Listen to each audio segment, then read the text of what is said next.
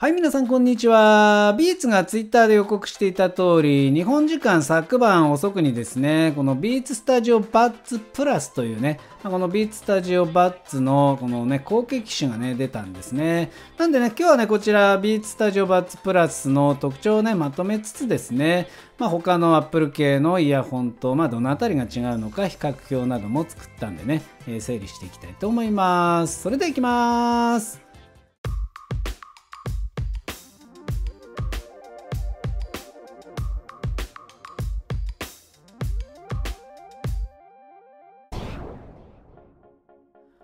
はい。ということでね、概要1枚にまとめるとこんな感じです。ビーツスタジオバッツプラスというね、えまあ、プラスの分がアップグレードされたビーツスタジオバッツなんですけども、まあ、大きな特徴としてはね、透明の新色が非常に特徴がありまして、3色展開ですね、トランスペアレントとブラックゴールド、そしてアイボリー。割と堅実な色3つになっていますが、そしてチップはビーツ独自のチップですね、第2世代ということですけども、で、まあそれによってですね、次世代アクティブノイズキャンセリングが1.6倍になったり、外部音取り込みモードが2倍になったりしているそうなんですね。まあ、ここが進化ポイントとして大きいです。そして声を認識するマイクがさらに進化しているそうです。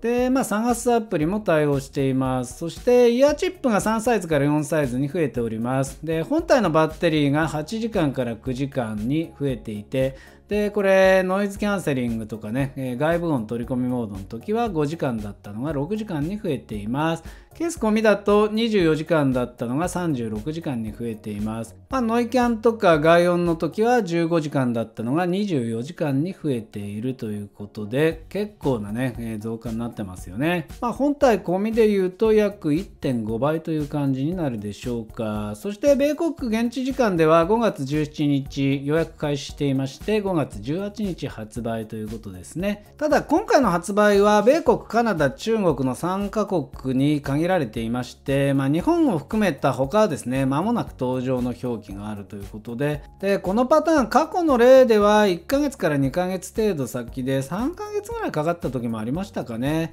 で、価格はね、米国本国でも169.99ドルと前のモデルよりも20ドルね、上がってるんですね。で、日本は24,800円と、前のモデル21,800円と比べると3000円値上げですけどね。ただ、旧モデルも併売しているという状況になっていますね。で、細かいとこ見ていきますと、デザインはですね、色以外はビーツスタジオバッツと近いんですけど、ただですね、この B ボタンの設計が変更して、外側に枠ができているということで、そこがまあ前のモデルとちょっと違う点でしょうかね。で、サイズの方はですね、本体のサイズは基本的に同じみたいですね。そしてケースの方が、まあこれ高さ、長さ、幅ってどこを指すのか分かりにくいんですけど、まあ、この5.2センチっていうのがですね、まあ、おそらくこの、まあ、写真で見ると縦だと思うんですけどね、まあ、これがまあ0.1センチ変わっているんでね、少しだけ大きくなってるんですね。まあ、1ミリってね、ことなんでしょうけど、重量が 1g 増えて、ケースも合計も 1g 多いとということになっていますね。で、ビーツビットプロと比べますと、こちら、重量法はね、本体が 0.6g 軽いんですけどね、でケースについてもね横長にまあ少しコンパクトという感じで総重量も 59g と 66.3g という違いがございますね。まあ、根本的にねフィットプロと比べると縦横バランスとかね全然違うんですけども、まあ、パッと握った感じだとやっぱりスタジオパーツプラスの方が小さく感じるんじゃないかと思いますね。で AirPods Pro 第2世代とは、まあ、本体は形状が根本的に違うので比べようがないですけどね、ちょこっとだけ軽いんですかね。そしてケースについてはね、これ、まあ、スタジオパッツの方が一回り大きいのでね、AirPods Pro の方がギュッと凝縮しているようなコンパクトさがありますね。重さと大きさがね、逆なんですね。はい、それで、まあ、オーディオパフォーマンスについては、今回も H1 チップとかではなくて独自チップなんですけども、えー、アクティブノイズキャンセリングと外部音取り込みモードが強化されていまして、で、ノイキャンの方が1.6倍、外部音が2倍良くなったなんて表記がしていましたけどね。加えて、よりクリーンな低音と、あと歪みがね、超低減したなんていうことで、えー、屈曲するカスタム2層トランスデューサーというのが搭載されて良くなったそうなんですが、まあ、その他3倍大きなマイクですね。で、3つの新しい音響通気口というのも備えて、オーディオの精度向上と圧力の軽減がなされたということですね。あとは空間オーディオはドルビーアットモスの音源に対応していますが、ただ AirPods Pro、AirPods 第3世代、そして Beats Fit Pro に搭載されているヘッドトラッキング機能は含まれていないので、まあ、その点はね、知っておいた方がいいところですね。で操作については多機能の B ボタンは偶発的なプレスを減らしよりしっかりした感触を提供するために再設計されたようですね、まあ、これねあの写真見ると分かるんですけどボタンが内側に入っているんでこの外側からの誤作動っていうのが軽減するのかなというとこですよね。でカスタマイズで音声アシスタントを割り当てたりあとは音量の上下の調整に設定も可能だそうですね。まあこれは前からそうでしたけどね。そして通話の終了は1回か2回の設定が可能となっております。で長押しはデフォルトではノイキャンとかですね。外音モード、まあ、その辺りの切り替えに割り当てられているようです。であとはね特徴的だったのはアップルとアンドロイドの互換性強化ということで、まあ、これ第2世代の、まあ、プラットフォームを使っているようなんですけどね。で特にアンドロイドデバイスとの互換性が向上したようですね。で Google ファーストペアっていうのはまあ前から対応していましたけども、えー、全デバイスの自動ペアリングが、えー、同一アカウントだとできるということですね。そして音声のね、えー、切り替えっていうのも自動になっているようです。そしてデバイスを探すにも対応しているようですがで Apple デバイスの場合にはワンタッチペアリングでそして iCloud の同一アカウントのね全デバイス自動ペアリングというのは前から一緒なんですけども、えー、その他、えー、Hey Siri も、え、前から使いましたよね。で探すについても最後に検出された場所を地図上で確認するということです。ワイヤレスアップデートも変わってないんですが、ただね、自動切り替えについては Apple デバイスには記載がなかったので、え、これはですね、例えば iPhone から iPad に切り替えるときは手動でやんなきゃいけないみたいですけどね、まあ、そのあたりが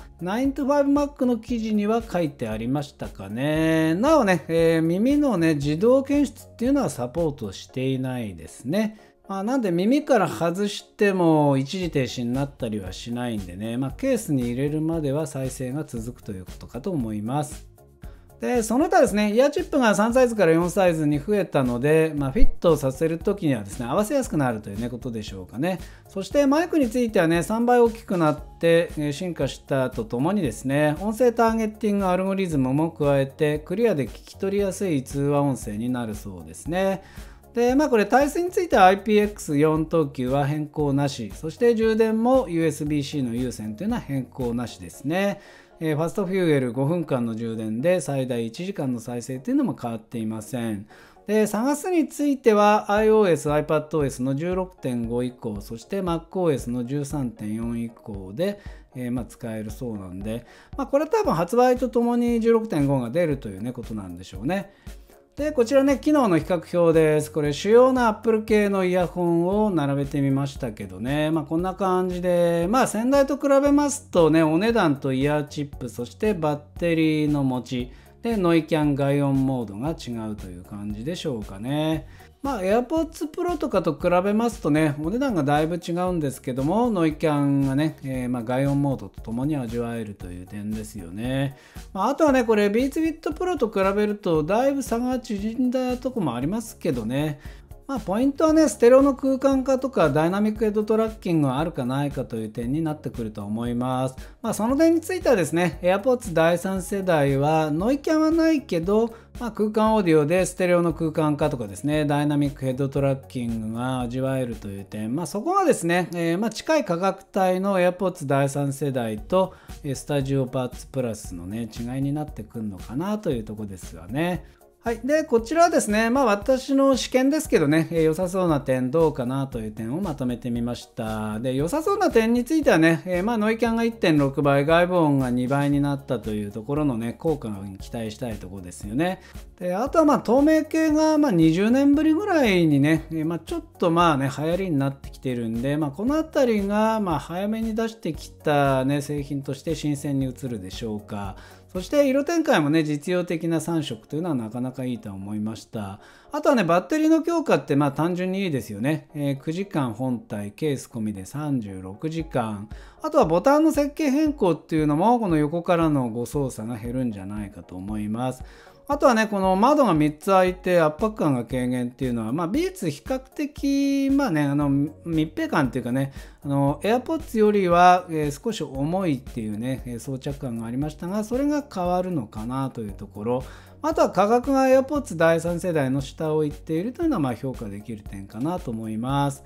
でどうかなという点については空間オーディオはドルビーアトムスの音源限定でですねあの私が好きなねステレオの空間化っていうのはま基本的には対応していないようですよね。あとはね、この、まあ、透明、新鮮さはありますけども、高級感があるかというと、まあ、若干ですね、えー、ソリッドよりも、このように、このプラスチッキーな感じには見えますかね。そして残念なことに、日本は後から発売なんでね、まあ、もうちょっと先になるのかなというお預け状態です。まあ、あとはね、それにしたって、まあ、ビーツは完全新型なかなか出ないですよね。これ、最後に出たのがビーツフィットプロでしょうか。えー、それ以降、だいぶ時間がかかっております。またおそらくね、色違いとかで、ま、対応していくのかなという感じですけども、まあ、特にね、あのヘッドホンですよね。のビーツスタジオ3っていうのかな。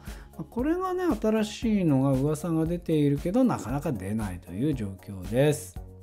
で最後ねこんな人に向いているというのをまとめてみましたが、まあ、これ2万円台前半でノイキャンと外音モードがね使えますから、まあ、これビーツってねだんだんお値段がねアップルスター以外で下がっていきますから、まあ、半年ぐらい待つと2万円切るぐらいになる可能性もありますよね。そして音量の調整を本体でやりたいっていう方ですね。これ AirPods の場合には AirPods Pro 第2世代しかできないですけどね。まあ、これが、えー、ビーツの場合にはできたりします。あとはまあ白以外のイヤホンが欲しいとか、えー、Apple 以外に Android の親和性も欲しいなんていう方ですね。そして USB-C ポート。で、ビーツがまあとにかく好きという方、あとはですね、フィットプロよりも、まあ、ケースが若干コンパクトな感じがあるんで、まあ、そのあたり重視する方向けでしょうかね。ということで、まあ、日本は米国よりも後なんでね、海外レビューを見てから買えるというメリットもあるかもしれません。まあ、いずれにしてもね、えー、バッテリーが長くなったのと、ノイキャンと外部音性能の向上がポイントかなというところで、